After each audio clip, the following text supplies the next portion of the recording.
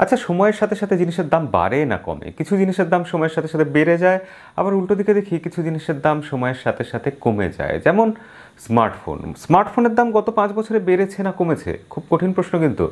কারণ উত্তরটা অতটাও সহজ নয়। আমি এই সময়ের কথা বলছি না। যে সময় এরকম মহামারী চলছে চারদিকে, একটা ইমার্জেন্সি সিচুয়েশন প্রোডাকশন কম হচ্ছে প্রোডাকশন বা জিনিসপত্র স্মার্টফোন তৈরি করতে গেলে তার খরচা বেড়ে যাচ্ছে, পরিবহনের খরচা বেড়ে যাচ্ছে, বাজারের যে অবস্থা, বিক্রি বাটা ঠিকমতো হচ্ছে না কোম্পানি লাভ বেশি করার জন্য আরও স্মার্টফোনের দাম বাড়িয়ে দিচ্ছে। তো এই সময় স্মার্টফোনের দাম বেড়ে গেছে, এটা একটা অন্য রকম সিচুয়েশান কিন্তু আপনি যদি একটু ভালো করে লক্ষ্য করেন, গত পাঁচ বছর বা দশ বছরে স্মার্টফোনের দাম ক্রমশ বেড়ে চলেছে। গত পাঁচ বছর হিসাব যদি আমরা করি, পাঁচ বছরের স্মার্টফোনের দাম প্রায় ডাবল হয়ে গেছে। কিন্তু উল্টো দিকে অন্যান্য ইলেকট্রনিক্স জিনিস, যেমন টিভি, যেমন রেডিও, যেমন টেপ রেকর্ডার, যে কোনো ইলেকট্রনিক্স জিনিস আপনি ধরে নিন, সেটার দাম গত পাঁচ বছরে কিন্তু কমে গেছে।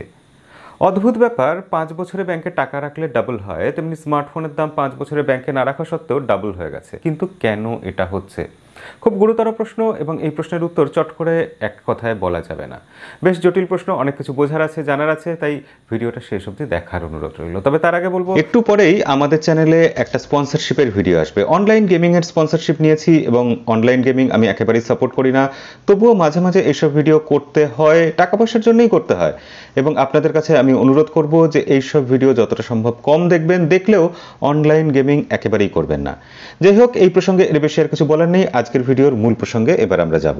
পাঁচ বছর আগেও যখন একটা স্মার্টফোন ফ্ল্যাগশিপ গ্রেডের দামি স্মার্টফোন বিক্রি হতো, সেটা ছশো ডলারে বিক্রি হতো। মানে ইন্ডিয়াতে পঞ্চাশ হাজার রুপি আর বাংলাদেশে ওটা ষাট থেকে পঁয়ষট্টি হাজার টাকায় পাওয়া যেত। সেখানে এতটা দাম বেড়ে গেছে। ডাবল তো হয়েছে, দেখা যাচ্ছে খালি চোখেই। এবং আপনি খেয়াল করলে দেখবেন অ্যাপেল যখন প্রথম এসেছিল তাদের আইফোন নিয়ে, সেই সময় মাইক্রোসফটের সিইও যিনি ছিলেন স্টিভ বামার তিনি বলেছিলেন যে অ্যাপেল এমন দামি, এত দামি একটা ফোন নিয়ে আসছে, তারা মার্কেট শেয়ারে কোনোরকম দাগ কাটতেই পারবে না। তাদের কোনো ফোন বিক্রি হবে না আইফোন বিক্রি হবেই না, অসফল হবে। সেই আইফোন কিন্তু দু হাজার সাত সালে লাখ লাখ বিক্রি হয়েছিল এবং সেই পাঁচশো নিরানব্বই ডলারের আইফোন আজকে তার দাম এসে দাঁড়িয়েছে ষোলোশো ডলার টপ ভেরিয়েন্টের কথা বলছি। এবং সেই ষোলোশো ডলার দামটা ইউরোপ আমেরিকার জন্য। আমাদের এখানে যখন আসে, তার দাম দু হাজার ডলার পেরিয়ে যায়। কার্যকারী দামের কথা বলছি। গুগল তাদের নেক্সাস ফোন বানানো শুরু করেছিল যখন প্রথম, তখন তার দাম রেখা ছিল পাঁচশো উনত্রিশ ডলার। তার দাম মানে গুগলের এখন পিক্সেল ফোর এক্সেল তার দাম এসে দাঁড়িয়েছে নশো নিরানব্বই ডলার। কি, প্রায় দ্বিগুণ নয়? এবং তার প্রথম কারণটাই হলো যে এখন স্মার্টফোনের বিক্রি কমে গেছে। প্রথম কথা, বিক্রি কমে গেছে মানে শুধু এটাই নয় যে লোকের হাতে টাকা নেই। লোকের হাতে যখন টাকা ছিল তখনও লোকে স্মার্টফোন অতটা কিনছিল না।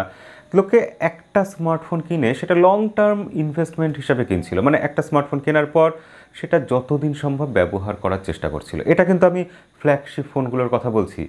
তাই অ্যাপেলের মতো স্যামসাংয়ের মতো এই কোম্পানিগুলো যারা ফ্ল্যাগশিপ ফোন বানাচ্ছে হুয়াওয়ের মতো কোম্পানি ফ্ল্যাগশিপ মডেলগুলো যখন বাজারে আনছিল, সেখানে কম বিক্রি হবে তারা জানে, তাই কম বিক্রি থেকে তারা বেশি লাভ ঘরে নিয়ে আসার চেষ্টা করছিল। তাই ফোনের দাম অনেক বেশি রাখছিল মার্জিন বেশি রাখছিল। যদিও উল্টো ছবিটা কিন্তু বাজেট সেগমেন্টে বা মিড বাজেট সেগমেন্টে সেখানে কিন্তু ফোনের দাম অতটাও বাড়েনি। এবং সেখানে ফোনের দাম যেটুকু বেড়েছে, তার এই কারণ হিসাবে যদি আমরা ধরি, তাহলে বলতে হয় সেখানে ফ্ল্যাগশিপ গ্রেডের বহু ফিচার আমরা পেয়েছি। বহু ফিচার মিড বাজেট বা বাজেট সেগমেন্টে চলে এসছে। তার জন্য সেখানে ফোনের দাম একটু হলেও বেড়ে গেছে।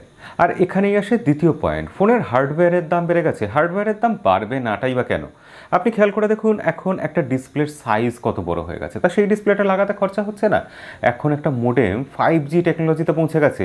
তাই টু জি মোডেমের যা খরচা ছিল ফাইভ জি মোডেমের তার খরচাটা অনেক বেশি বেড়ে গেছে। হার্ডওয়্যারের কথা আসলে তো অনেক কথাই বলতে হয়। দেখুন এখন একটা স্মার্টফোন কিন্তু একটা রেডিও একটা ক্যামেরা একটা টেপ রেকর্ডার বা ওয়াকম্যান সব কিছুকে রিপ্লেস করে দিয়েছে। একটা টর্চকে পর্যন্ত রিপ্লেস করে দিয়েছে সেটা।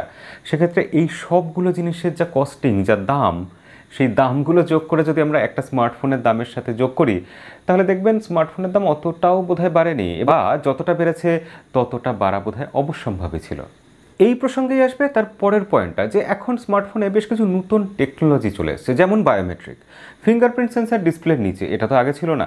যেমন টিওএফ লেন্স যেটা আগেকার দিনে দেখা যেত, খুব দামি ক্যামেরা, সিনেমা তৈরি হয়, এরকম ক্যামেরাতে ব্যবহার করা হচ্ছে, সেটা এখন আমরা স্মার্টফোনে পাচ্ছি সেই টেকনোলজি সেক্ষেত্রে সেই টেকনোলজিটা যখন আমরা স্মার্টফোনে ইউজ করছি, তার দামটা তো দিতেই হবে।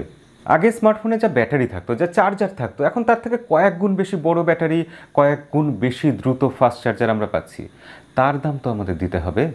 এবং এই প্রসঙ্গেই পরের পয়েন্ট আবারও আসবে। এবং পরের পয়েন্ট হচ্ছে সফটওয়্যার স্মার্টফোন যখন আমরা ইউজ করছি, শুধু হার্ডওয়্যারের দাম বেড়ে গেছে বা হার্ডওয়্যার অনেক বেশি দিচ্ছি বলে তার খরচা বেড়ে যাচ্ছে, ব্যাপারটা এরকম শুধু নয় সফটওয়্যারের ক্ষেত্রেও অনেক কিছু পার্থক্য হয়ে গেছে।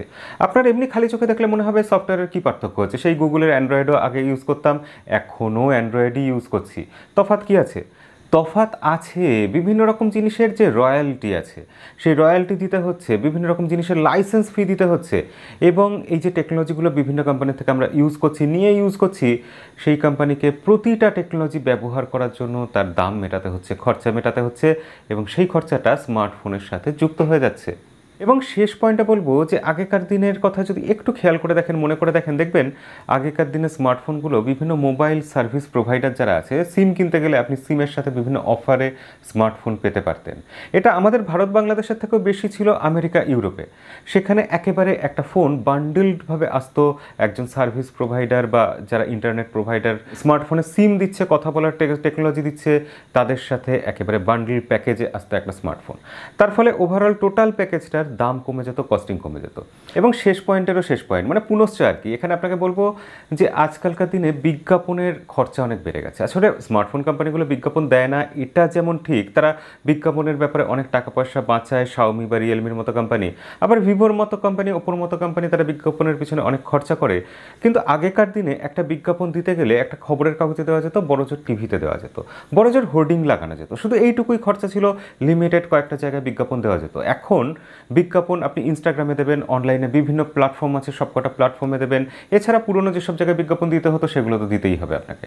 তো বিজ্ঞাপন দেওয়ার টোটাল যে খরচাটা, এত জায়গা কভার করতে হচ্ছে যে তার খরচা বেড়ে গেছে এবং সেই দামটাও আমাদের স্মার্টফোনের সাথে যুক্ত হয়ে যাচ্ছে। তার ফলে স্মার্টফোনের দাম আরও বেড়ে যাচ্ছে। এছাড়া আর যে পয়েন্টগুলো বললাম না, যেমন এখন আর্টিফিশিয়াল ইন্টেলিজেন্স ডেভেলপ করতে গেলে অনেক খরচা বেড়ে গেছে। এখন বিভিন্ন ছোটোখাটো ভেন্ডারদের অনেক বেশি টাকা পয়সা দিতে হচ্ছে কমিশন হিসাবে তাদের লাভ দিতে হচ্ছে অনেক বেশি।